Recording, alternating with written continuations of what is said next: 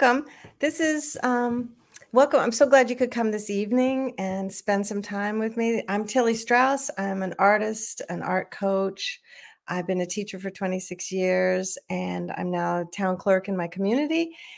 And um, this is a series I've been working on called Who Is She? It's about um, famous forgotten women. I had been a little bit disappointed in the lack of women I've learned about art women in history. And I was a history major too in college. And so I started looking into it. And then I couldn't really, I would, there are hundreds of women in history. They just aren't in our history books. So I ended up reading about them and then forgetting about them. And then I decided the best way to learn about something is to take it all in. And for me, I read, do a lot of research, then I write, and then I make a little zine, like a magazine layout, and I do these presentations. The best way to learn is to like share what you've learned with somebody else.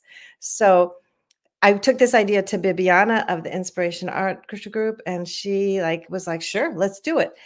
So this is how I got here, and thank you to the Inspiration Arts Group for this platform. I really appreciate that um, to share this with you guys. And um, Bibiana, thanks again. You're like my accountability coach, making me show up.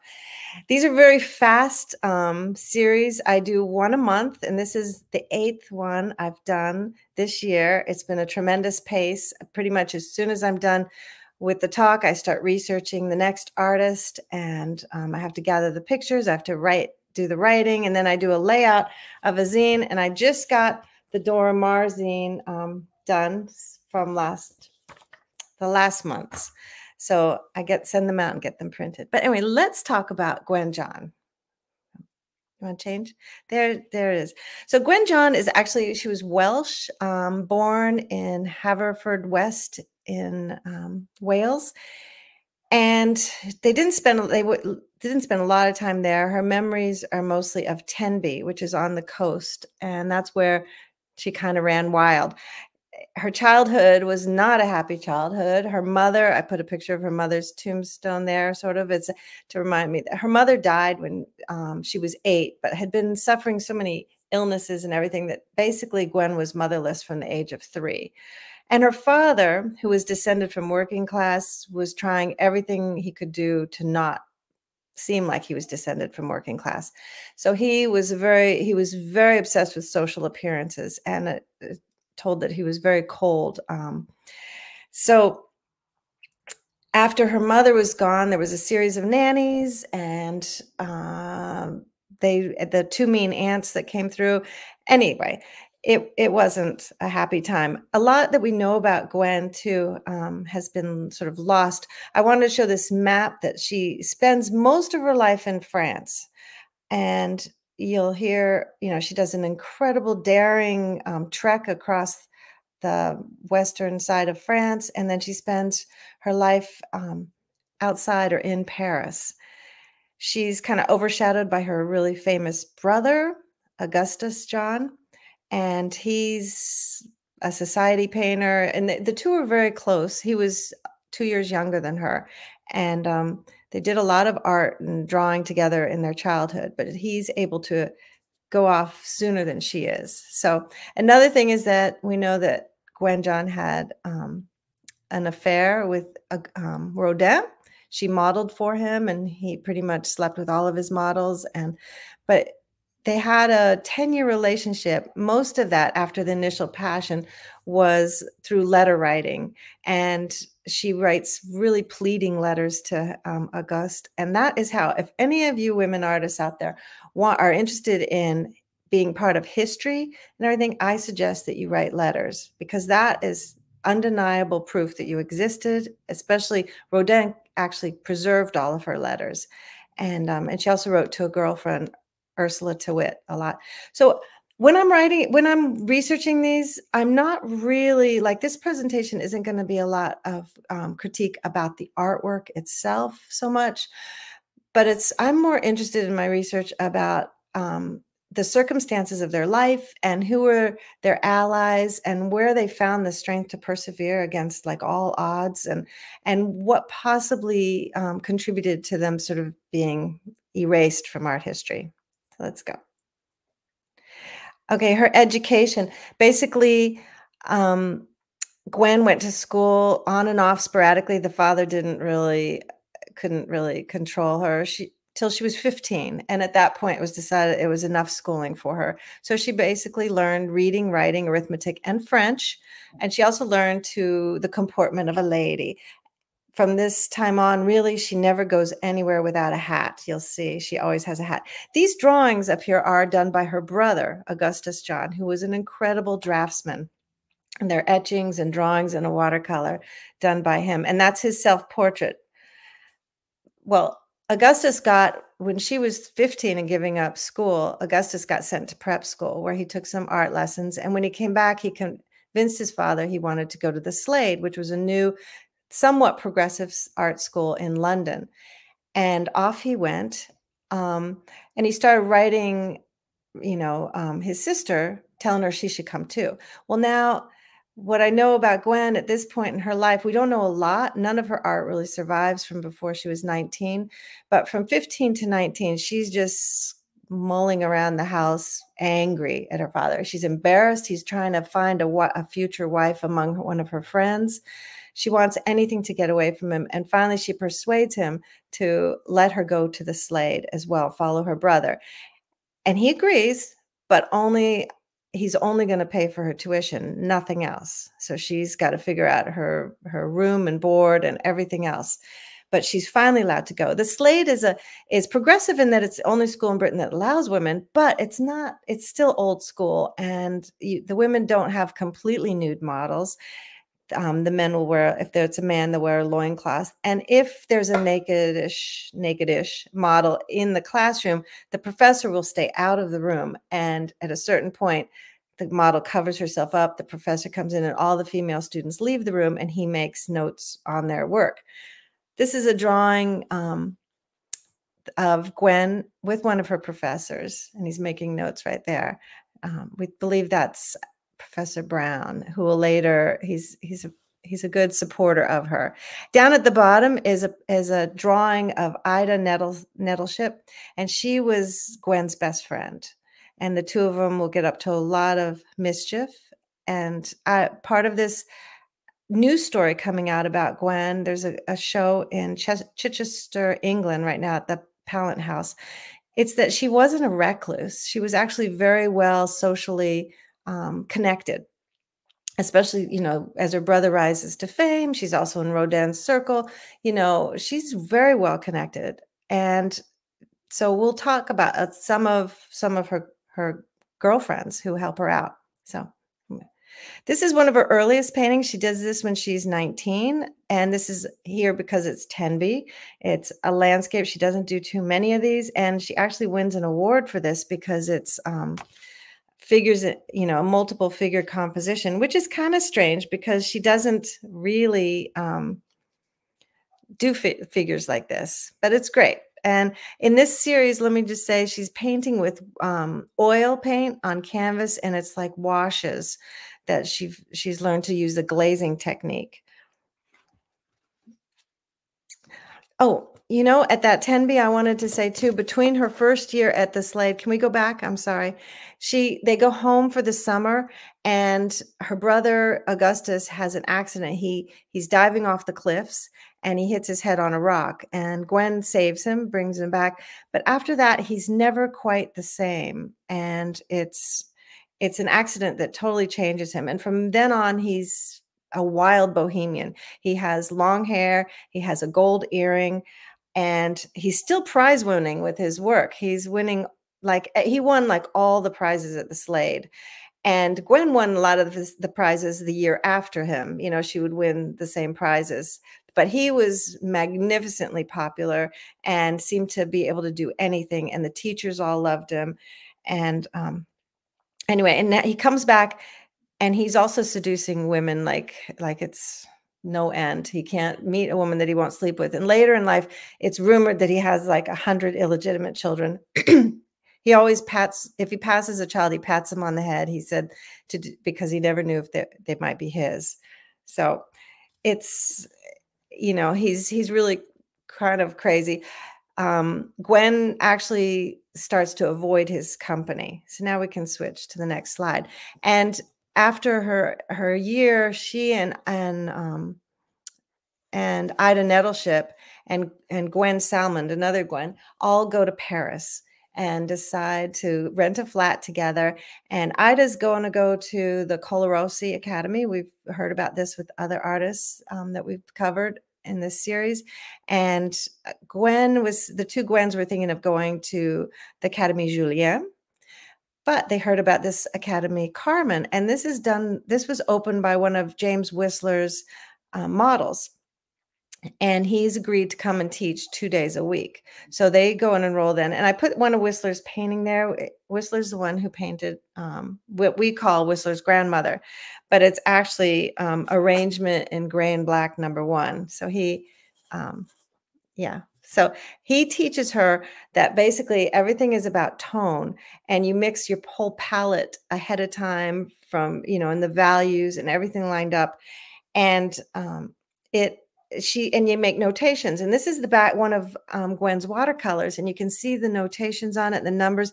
She developed a system that nobody art historians can't figure out and it definitely at the time really frustrated her brother who was fascinated.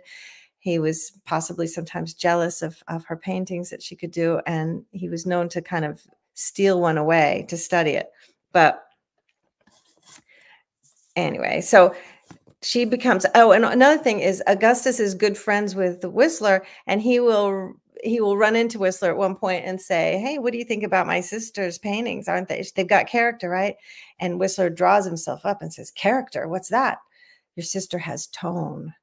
So that's really you know from now on she'll start painting with these dabs of colors less of that washy look Okay, you can change the slide. Thank you. I just wanted to put up, um, these are three self-portraits that she's done um, of herself. And you can see that she's her best model, actually, probably for lack of um, any money. But she was also very interested in fashion and clothing. And every night, Gwen and Gwen and Ida would get together and create all these clothes. Um, they would sew and they buy old clothes and rip them up and do. And she apparently designed um, her a dress out of one of from one of Manet's paintings and wore it when her father came for one of his rare visits to come and talk about the allowance. And as she met him at this restaurant and was about to sit down, he said, she looked in that dress like a prostitute. And she said, Well, with an attitude like, I cannot, I cannot take any of your money. And she left. And after that, it got a bit stringent. She had incredible pride. She, I think she only saw her father maybe once or twice after that incident. But clothes are very important to her. And I just wanted to mention that um, during the World War One, she her Ursula Tyrwhitt, her girlfriend in London, will send her care packages with clothes in them, and that's what Gwen gets most excited about in her letters. But without any money, she has to take up modeling for other artists. So, and she isn't doing that well. She has to go back to London. So that ends the whole Paris thing for a while. She goes back to London, and it's pretty much uh, sad. She calls it her subterranean period. There's a picture there of um, her brother Augustus, who is now married to Ida. Um, he she she wrote sometimes that she thought he would take everything that was hers, you know. So here's a portrait of her next to with Ida in the middle and one of Augustus's um, sons. And she had fallen in love with one of Augustus's best friends, and he didn't take the cue and got engaged to somebody else. So she was she was depressed and living in basements basically living on um, peanuts and um, nuts and, and fruit. That was all that they could afford at the time. She had friends that tried to help her but she it, it was disastrous. And after this she pretty much decides that she's always going to have um, money for her own apartment. This is also when she first sort of adopts a cat and she'll have cats for the rest of her life. She's she's uh, often homeless with cats for company. And she wants to be alone actually. She likes it that way. She does go to these parties of that all the artists are throwing and they are helping her. She lives sometimes in a group home with people. But because a woman alone in this time, I just wanted to say too, I have a whole thing on my zine about it. they're looked at as really suspicious, you know, and um, mistrusted. I mean, it's it's a break in the social fabric to be alone. And so when she would have a place alone, even the landlords and stuff would would catcall her or hiss or and if she if she was followed home and scared, but the people would say you had it coming. You know, it was it was a hard time um, to be alone. So she was pretty strong about that. But she did go to parties. So and it was at one of these parties that she meets this Dorothy McNeill, who they, you know, changes her name um, to Dorelia. And she's a stunning beauty. This, are, this is a, a painting that Gwen has done of her and a drawing. And she became a model for Gwen in exchange for her own painting lessons. Gwen tried as long as possible to keep her from her brother, but the inevitable happened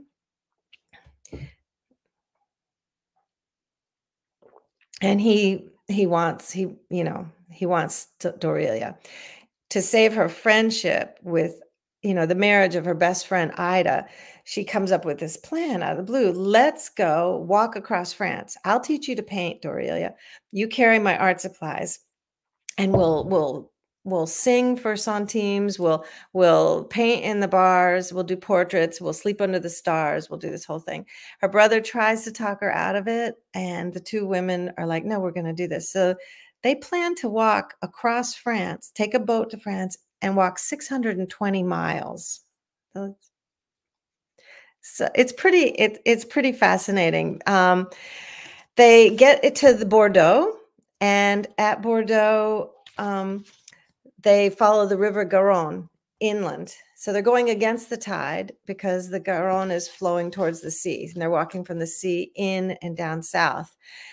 The walk is way more. I did a little drawing here, what I thought of um, Gwen walking and Dorelia sort of hunched over with the paint boxes and the paint supplies. And um, there are letters of, and stories about that Dorelia tells later but basically this this walk is to escape escape her brother and you know possibly save his marriage to ida but it becomes a, like a break from her childhood.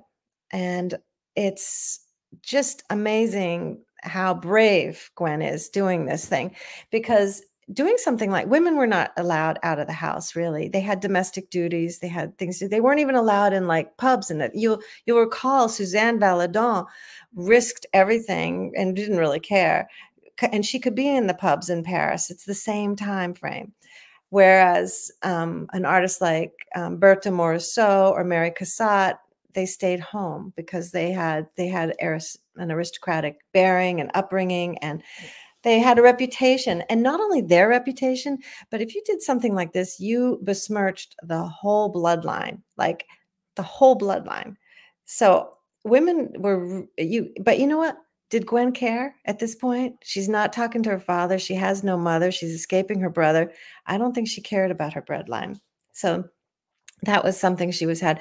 From now on, she just loves um, sleeping out in the in the under the stars. And even when she's living in Paris, she's known to take a ferry south um, and go and, and sleep out in the country or take long walks. She's a real walker. And then at, at the Luxembourg Garden in Paris, they locked the gates at night. She would sometimes sneak in there before the gates got locked. And so she could sleep under the bushes and she felt kind of safe, um, safer that way. But they make it to Toulouse, 150 miles, which is, and the story of that is is amazing. There's a, a woman who's written um, Windswept, Annabel Abbs, a book, Walking the Paths of Trailblazing Women. And she Gwen John is chapter three.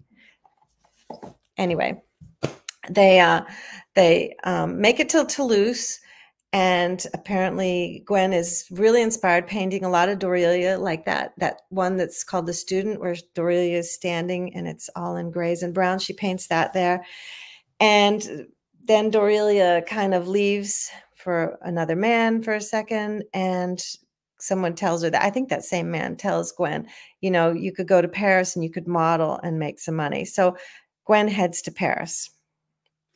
And she gets there in 1904, which we've found a few of the women we've talked about in this series have been in Paris in 1904. So these little drawings I kind of reused. At the top, you have um, Rilke and Rodin.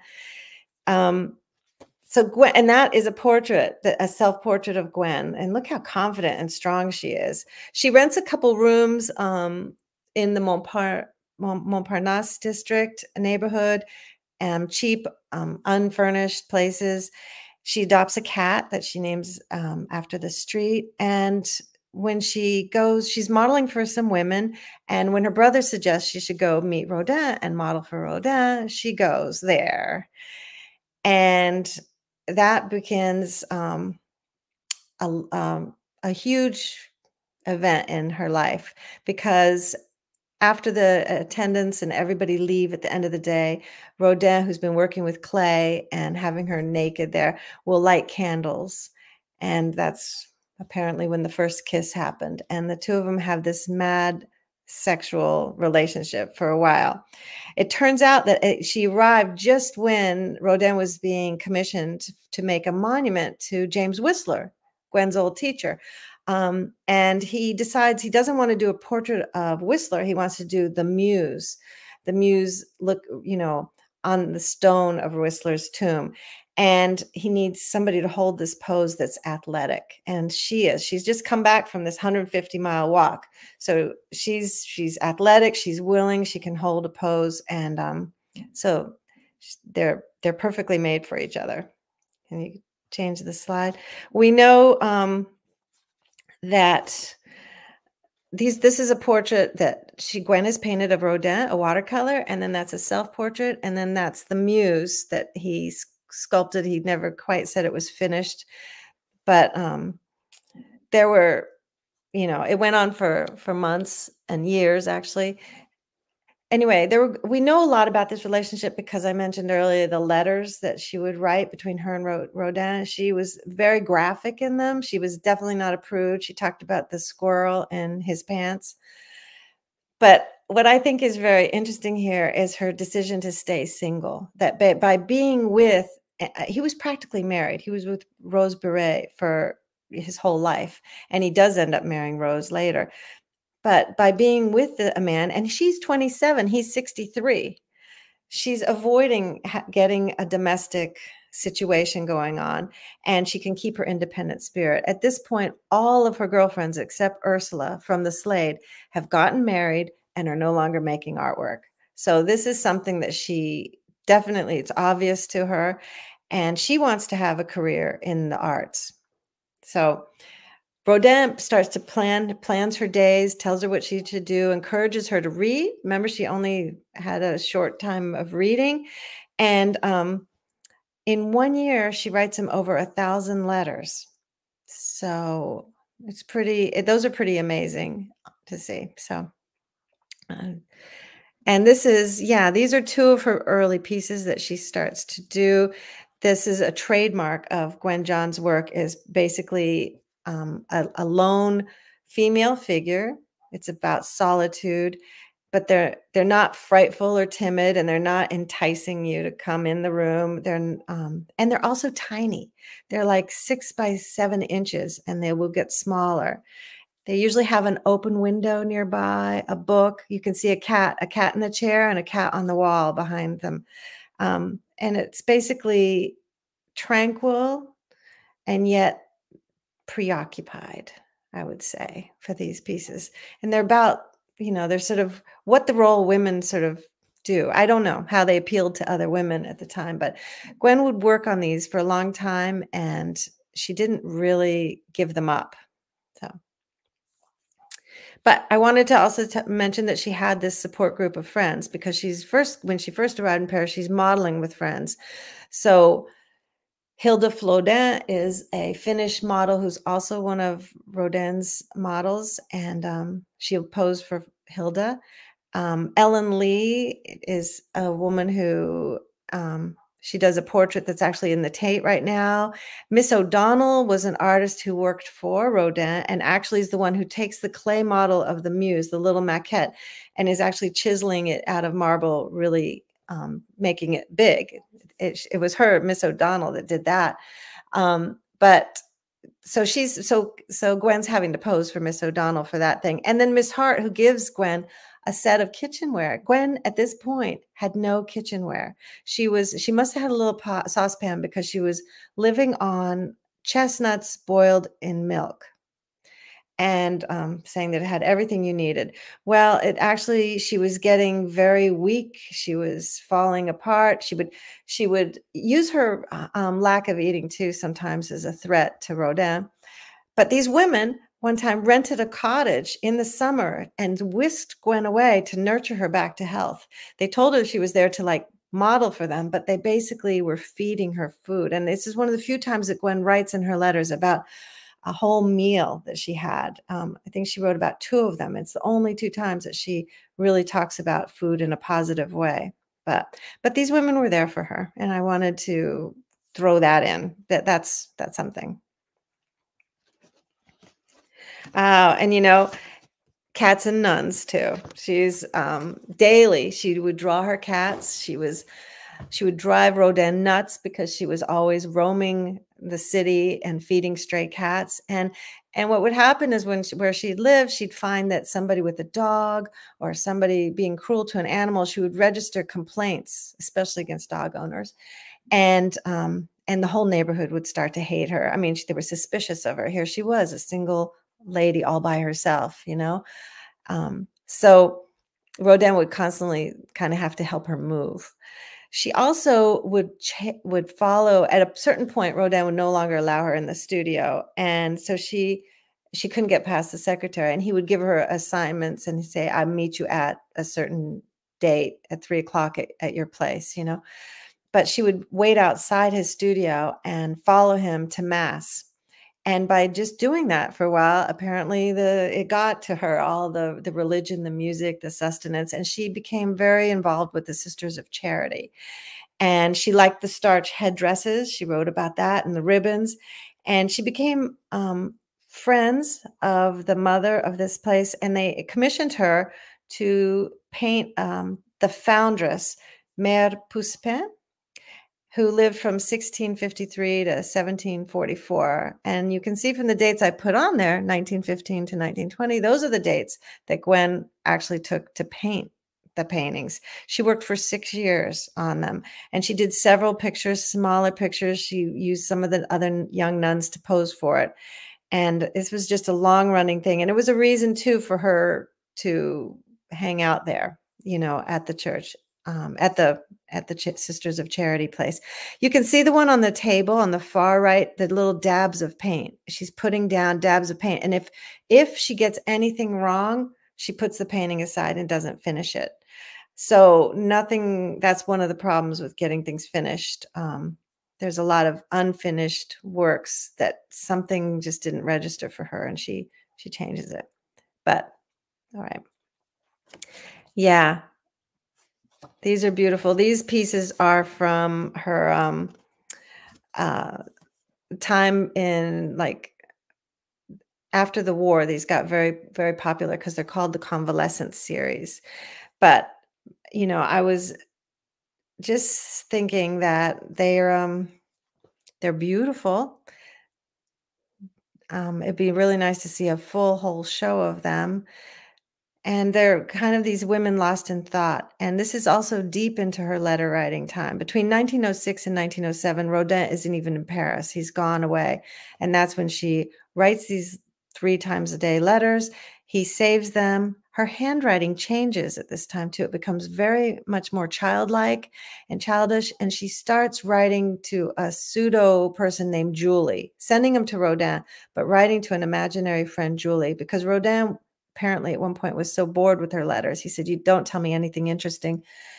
And she said she'd be embarrassed to tell him, you know, the daily stuff that she does. And he said, Try. And so she can do it by writing to Julie these letters describe how she's, you know, when she gets a complaint, you know, and sees somebody mishandling a dog or a cat and all these little trivia things we were getting from these these letters that she wrote to Julie via Rodin. And then she's also becoming really good friends with Rilke, who is um, Rainer Maria Rilke. He's, for a brief time, he's Rodin's secretary. And he's often the one that has to tell her, she's he's not here. You can't see her, see him. So, but they get very close too. as friends. And you know him, he married Claire Westhoff, who was um, Paula Modersohn Becker's best friend. So here are a series of her self portraits. And I just think it's interesting how she grows in this sort of poise and self confidence. And the last one, 1907, I feel like she's she's um, more wispy and washed away, but it's definitely a limited range of tone. She's hold, clutching a letter. It's these are these are who she is at these different stages of her life. Uh, yeah. So she has food issues. Um, I brought up a little bit. I didn't tell you how she convinced her father that she had to go to the Slade. She went on a hunger strike and refused to eat until he got scared and and um, sent her there. And while she was at the Slade, they hardly ate. And I told you, fruit and nuts. In Paris, is chestnuts and boiled um, milk. She tells Rodin in his letters that if he doesn't come see her, she's going to stop eating. And basically, she she's giving the food to the cats. One thing early in her childhood that you read in Augustus writes a book called Chiaroscuro and covers his childhood. And he said that um, Gwen hated rice pudding and the meals with his father would be you had to be completely silent there was silent no kids allowed to talk and she was forced to eat the rice pudding like over and over again and so there was a battle of sorts going on about food then so this is just something that i would find interesting to look into later you know if somebody wants to a great thing happens in 1910 um, John Quinn. He's a Wall Street lawyer. And Augustus is doing his portrait and tells him about his sister, and John's kind of interested. So he sends her like 30 pounds and says, Send me a picture, and doesn't get an answer. So he sends her some more money, and she, if she answers, she says, Well, I'll send you something if it's of any good or if I'm not too sick. So it's always promises. And um, they developed this relationship. He finally goes over the top. It's an interesting way that this relationship developed. By refusing to give him work, he wants it more and more and more. He sends her, uh, he starts sending her an allowance, a quarterly allowance, so that she can paint, giving him the right to two or three of her paintings and drawings every year to first first choice but um and he but in the letters he also asks about her contemporaries has she been to picasso's studio has she seen braque has she and she tells him about um henri rousseau and john quinn actually buys that the gypsy the whisper the the lion sleeping over the figure um, the lion standing over the sleeping figure by moon I forget the name of it, but he he actually buys that from Rousseau. She tells him about Modigliani and, and Brancusi, who were sculptors, um, assistants to Rodin that she met while she was posing for Rodin. And um, they argue about frames. She, John Quinn, the pieces are so small, he wants these really elaborate frames put on them. But she says, actually, and it's shocking, that her work would be better unframed. And she wants them hung in groups but he's really forgiving. In fact, after he's paid her all this money and got nothing, he ends up going to the, around to the convent where he actually buys a painting of um, Mère Poussepin, which is interesting because it's like he already paid for it, but he doesn't say any. You know, he rebuys it, and um, he does get a couple pieces from her, but he starts to want to meet her, and Gwen and Gwen will go through all sorts of hurdles to avoid him. He writes her he's in new york and he the armory show is happening in 1913 and he writes her that he needs a cable. I need three or four pieces. And she cables back one. And so he's okay for that and that one never shows up. So he ends up donating two of the pieces in the show that he owns and these are two pieces that he he owned um, the girl with the red shawl and the girl reading at the window. And um, it's just interesting when I looked into the Armory show, there were like out of uh, something 350 artists, 50 were women. And actually, so I've started making a list of those women who were showing there. And one is right up the road in Great Barrington and Kathleen McNary. I don't know anything about her. The women, I only knew two of the other ones. Um, that were in the show. So it was very interesting for me. Um, her brother Augustus has like 20 pieces in the show, and he takes New York by storm. He ends up staying in New York for a while, setting up a studio so he can paint all the the rich people's portraits. And anyway, this was, I just want to say the armory is something we don't even hear about the women that were in it. And it's something to be looked into. The first, when the First World War happens, Gwen, um, people in the country in France are freaking out. They remember a lot about the War of 1870, and there's a lot of trauma in that from what they experienced. So everybody's like leaving. Rodin leaves for Paris, and he takes Rose and Judith Cladel um, to England with him.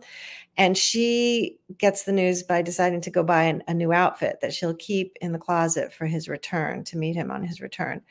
And she also picks up this book, um, the biography of um, Saint Margaret of Cortona, which really it's it's about a saint who abandons her wealth and actually starves to death.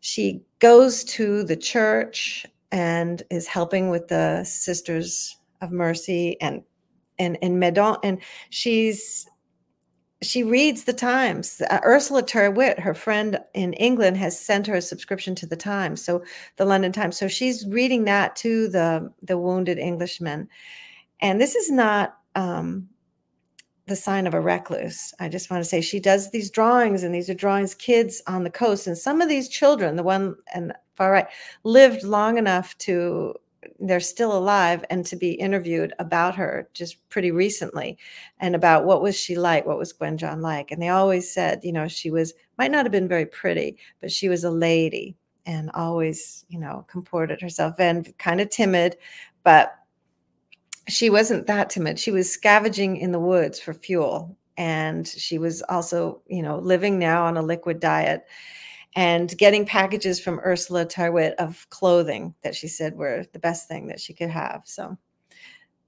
another next slide. This is okay. They have to get away. She wants to get a, the front is moving close and her and a friend, um, Ruth Mannon and Ruth, Ruth's 10 year old daughter go rent a place up on the Breton coast, which reminds um, Gwen of Tenby, where she grew up swimming in the ocean and she's swimming every day now and she's working plein air. She's painting the children. This is when she actually starts the convalescent series of 10 paintings. And they became really popular after the after the war. Um, they're kind of about recovery in a way. But you will see here, you'll see the three quarter view, no background anymore. She's completely eliminated any background and it's just tones dabbed on. And it, the, the way she puts the paint on is uh, the mood of the sitter, very restrained and and limited, you know. Yeah, here's here's two more that I thought were beautiful to look at.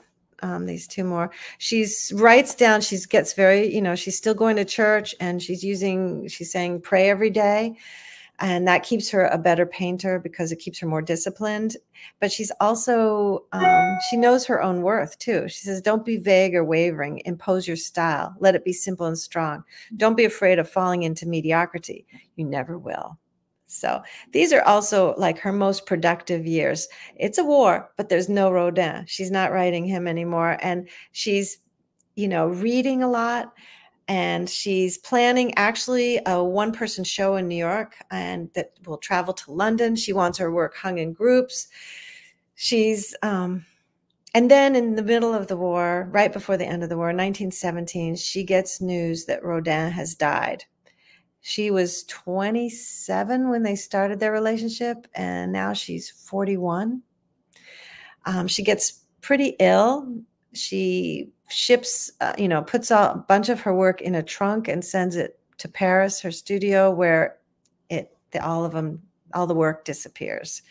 So it's a it's a it's a double setback, and around yeah, it's it's kind of bad. It's so yeah. Now it's after the war, and of course, you know, Paris is like the place to be. Um, and John Quinn visits a couple times and she makes excuses each time. She's out in the country, she says that. And one time she comes back when she's sure he's gone and he has extended his stay and he comes tramping up the steps to her little attic room and they meet and actually they like each other. They have um, fun together or, you know, they have an understanding and he will take her to the to the Equitable Trust Company of New York, which has a um, a branch of, in Paris. He has to convince the manager that she's a, a, real professional artist who works slowly and hardly ever shows. And they allow um, Gwen to have a bank account with John Quinn signing on to it. And this point in her life, she's healthy, she's active. Um, she gets very popular. Ford Madox comes to interview her for the transatlantic um, John Quinn's telling everybody about her. She goes to Picasso's studio when he buys the three musicians. That's one of the pieces, the Cubist musicians he buys. And um, they go to a party at, at Braque's, at Brancusi's, and um, she's she's getting around. These are her most productive years. Yeah, so I just want to put two more of these in there. That pyramidal, monumental single women with their hands in their laps, sometimes a book, and look at, you know, they're looking out at us, but they're also, they got their own feeling, their own um, thoughts going on. And it's like all the action in the piece is, somebody said this, is inside their head. We're just looking at the outer stillness. So you can see the dry brushstrokes too, you know, at the, she daubs this on. Ah, this is a series of teapots on the table. And I mean, um, they're just it's it's with very little she's just getting her notes and some of these she probably were considered not finished she wouldn't send you know john had to like wrest things out of her hands to let her get you know give him a piece she never thought they were quite good enough and um, in 1925 john quinn who's only 54 years old he dies suddenly, and it's a real shock. Um, Ursula is the one that tells Gwen. She's pretty distraught by it. I mean, up to this point, she had money because of him, and she didn't have to, you know, mm. she could hire models. She no longer had to mo model herself. And also, John Quinn had about 3,000 amazing, amazing works of art, which his he had no real plan for in his will. And so his sister just sort of disperses them quickly. Um, so they kind of got spread out. And that's kind of what happens to a lot of these women artists. Their work isn't put together and donated to a museum that might happen with uh, a, a, male artist, where a, a, collector will have a selection of their work and make sure it's donated or gifted to a museum. And that doesn't happen with these women. They either have to sell their work to sustain their, their life um, income or their the work is just quickly into different private collectors hands and never gets to a museum where art historians can see it and people can see it and it can get into history books. So that's something um, to take into consideration. But at this point she does have um, um, a one person show in london at the new Chenil gallery and she puts in 12 oil paintings and 50 drawings. It's a huge success, and the prices are high, and the work sells. Um, William Rothenstein, one of her friends from the Slade, he's now head of the Royal College of Art, and he makes sure that a work goes into the Tate. And which the Tate, when it started, had like it started when she was like 30 years old about 10 years earlier, and they had like 435 works of men and only five works of women. So this is a huge, groundbreaking, glass ceiling breaking for her to get work um, put in the Tate. And and her, it's her friends' support too. They are they write Ursula, Ursula, I think, writes the intro for the catalog, and and they and she's got letters that they're saying hey of all of us in the group of artists when we were young you know you've made it and you've worked the hardest for it and this is this is really pretty pretty great um yeah so she's back in um, Meudon, which she has a little flat. And what does she do with all the money that she made from that show? But she buys a little plot of land that has like a little might have two shacks on it or a garage on stilts something like that. It's very very abandoned and wild is what everybody calls it and it's for her cats. And she first thing she does she builds a wall around it and a couple stone paths and then she just lets it go wild. She has one couch inside of it. Um, ursula comes to the rescue at one point and does bring her um, tables and pots and pans and cups and even a collection of seashells which gwen is immensely grateful for she's you know, Rilke, her Rainer Maria Rilke dies, and on, so she's kind of not painting as much anymore. But she goes to church, and in church she's starting to do these pencil sketches from behind of these little kids of the convent, and um, then she takes them home and she'll do watercolor or gouache in them. They're kind of um, she falls under the influence of Rilke's good friend, who's a Catholic philosopher, um, Jacques Maritain, who has a sister named Vera. And Gwen actually gets pretty obsessed about her. It's an unrequited love.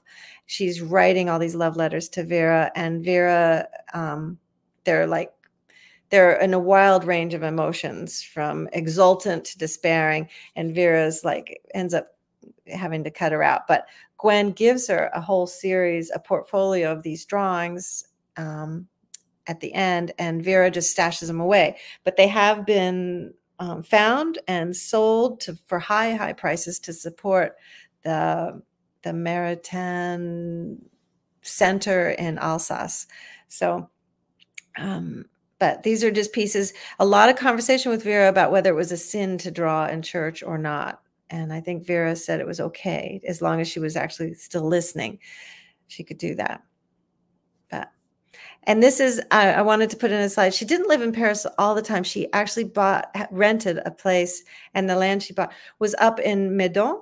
And this is where um, Rodin had a house too. So she was kind of close to him. She would um, when he was alive and not seeing her, she would sort of sleep in the bushes around the house. One time she ran into Camille Claudel, who was also doing the same thing, you know, and they called Rose mad because Rose would run out of the house sometimes and start beating at the bushes. And they said she was seeing things, but she was seeing the mistresses of um, Rodin out in the bushes.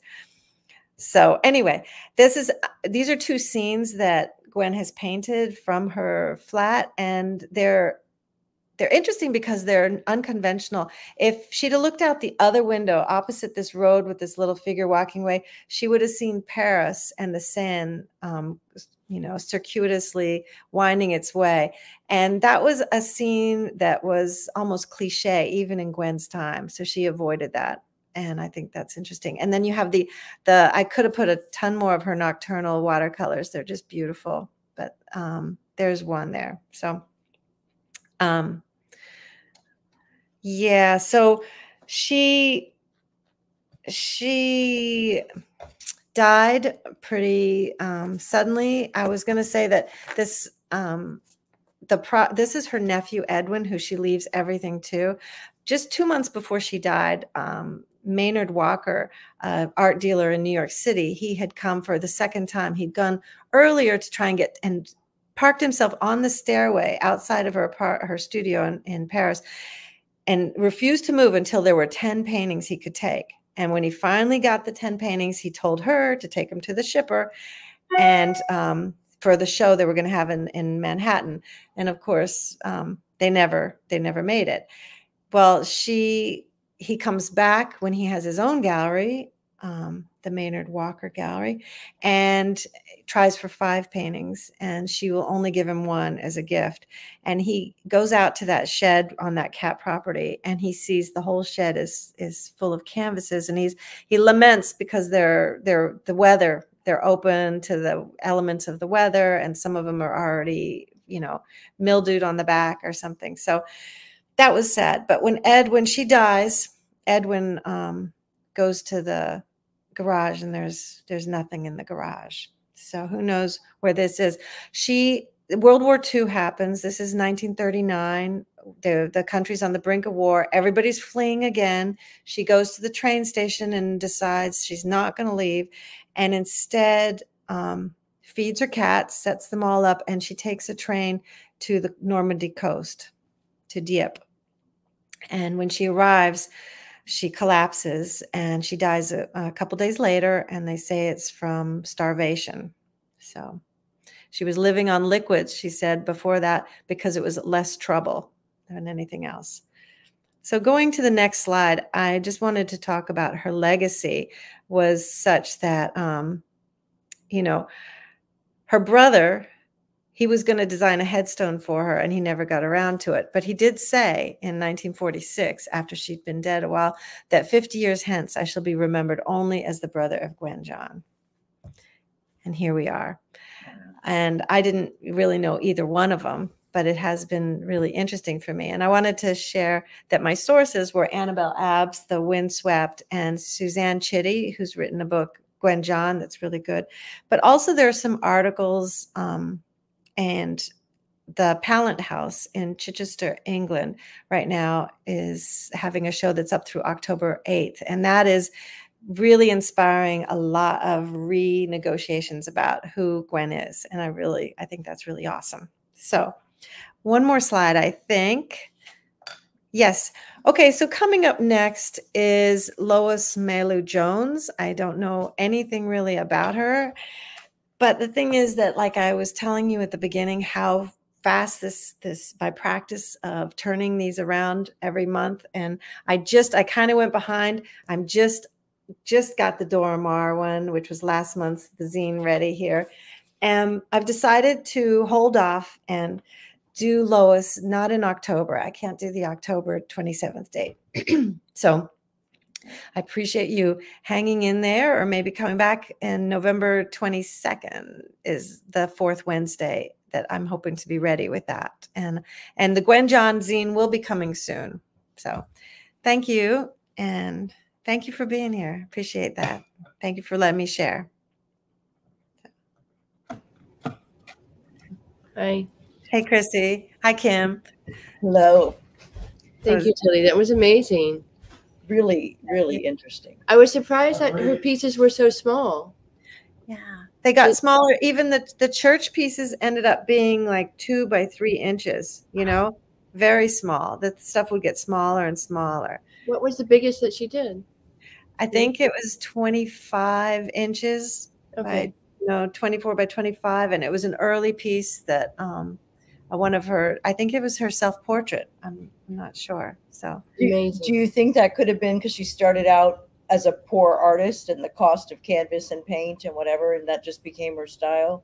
I think so. I think so. I think that a lot of it was materials and what you could get. And in fact, during the time when she was really poor in Paris, before John Quinn's help, she was just really working on paper with watercolor. She wasn't doing that many oil paintings at all. Most of her productive years were when Rodin was out of the picture and John Quinn was paying her a stipend and she could she could actually do. But I think then she was so cautious and so deliberate and meditative about every spot she would put on the canvas that you know it was almost pointillism you you you know and if you've ever tried that you don't want to do a giant piece you Yeah, know? they're very contemporary. They're very beautiful, I think. Yeah.